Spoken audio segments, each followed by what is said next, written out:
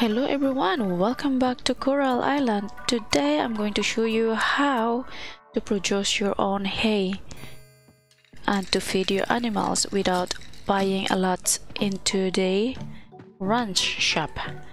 So this fiber is gonna be turned into a hay once you have a mill.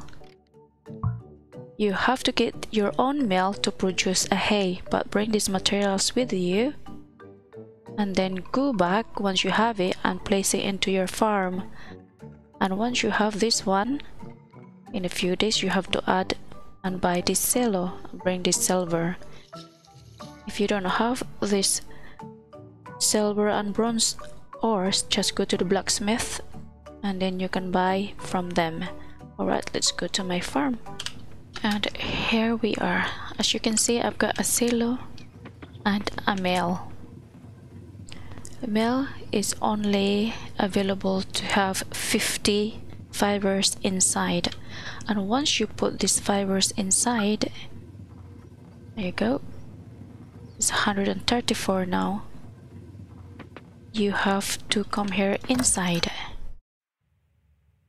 and come to this to collect your hay and feed your animals that's it. And make sure pet your animals to get a highly quality eggs.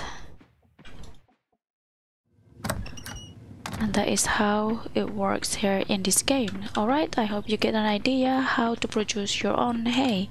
Thanks for watching. Bye